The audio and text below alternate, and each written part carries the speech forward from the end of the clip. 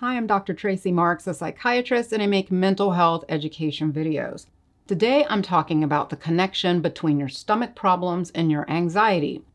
I've seen a number of patients with anxiety who also have gastrointestinal problems. For some of them, anytime they have a flare up of their intestinal issue or stomach issue, it ramps up their anxiety. Let's look at Paul. Paul has gastroesophageal reflux disease, also called GERD.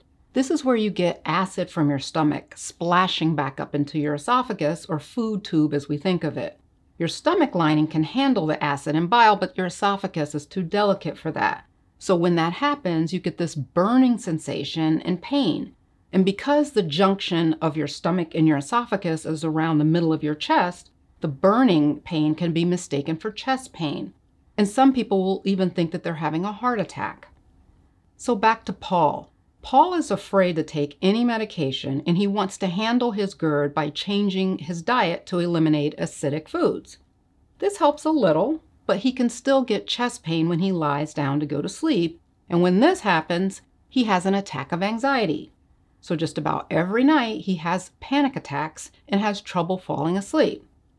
Because this usually happens every night, he starts getting anxious late in the afternoon thinking about having to go to bed. He got a recliner chair to sleep in to help with the reflux, and it did a little. But this whole chest pain anxiety thing starts to make him think he's got something bigger going on. Now he worries that he really has stomach cancer. Why? Because he can barely eat. He's lost about 15 pounds and has trouble keeping down food. His doctor prescribes a medication for his reflux, but says that Paul really needs to see a psychiatrist for his anxiety. Paul comes to me and says, I'm not crazy. I just have a bunch of medical problems that have messed with my mind, and I want to feel better about my health.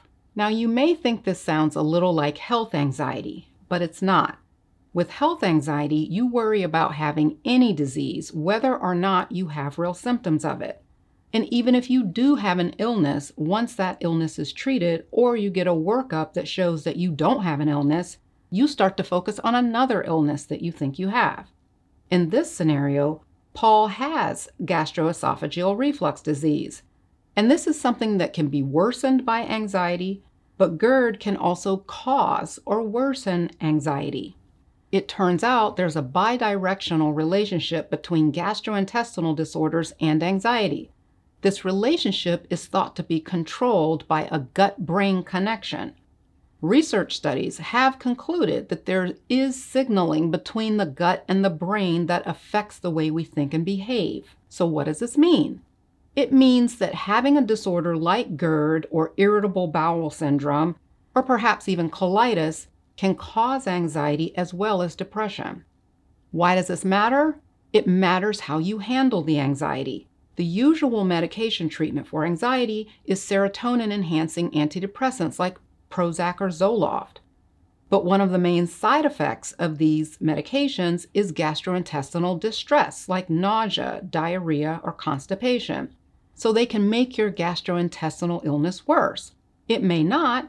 I have had patients with GERD take acid reducing medication and still do fine with one of these antidepressants, but not all do.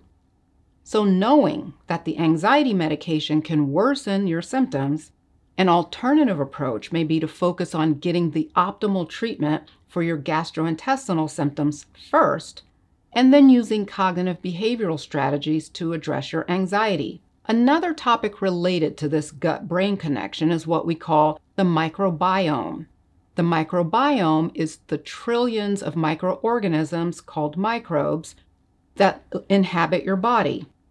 The microbes include bacteria, fungi, parasites, and viruses, and most of them live in your small and large intestines.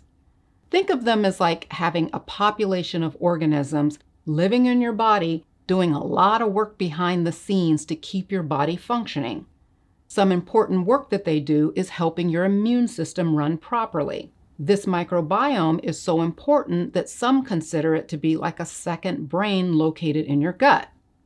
Researchers have studied the microbiomes of different people and see that people with anxiety and depression have a microbiome that looks different from those without anxiety and depression. Even the amount of body fat that you carry on your body is affected by the microbes you have in your gut. You know how some people seem to be naturally thin and others large, even when they eat the same things? Where I come from, they call that being big boned.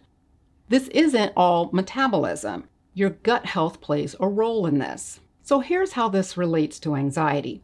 If gastrointestinal disorders can cause anxiety and having bad microbes can cause or worsen anxiety, then maybe the way you can address your anxiety when you have a gastrointestinal illness is to get treatment for your GI problem first and then turn a hard focus to your gut health.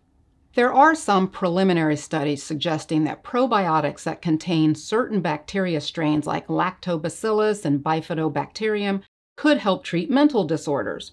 But the research into this intervention is still in the early stages and we're not able to say yet, take this much of this probiotic to treat this disorder. But healthy food produces good microbes. A good place to start with this is eliminating sugar and processed food and eating a clean diet. And this would be food that reduces inflammation. I have a handy guide for you that you can download from my website at markspsychiatry.com.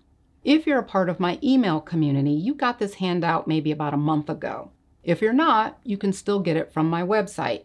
The link is in the description. So the take home here is that if you have gastrointestinal problems like GERD or irritable bowel syndrome, these illnesses can cause anxiety. So make sure you prioritize having the gastrointestinal problem treated. Don't ignore it thinking that it's probably just stress, because ignoring it could then trigger a bigger problem of anxiety for you. Also, you want to take a serious look at your diet. I know that that's not an innovative intervention, but it is real, it matters, and it could make a big difference in how you feel without the need for taking another medication to get rid of your anxiety. If you haven't seen it already, take a look at this video I did on dealing with health anxiety. That is a different problem, as I mentioned, from what Paul had. But nonetheless, if you do tend to focus on having or have a lot of anxiety about multiple health issues, then take a look at this video. Thanks for watching. See you next time.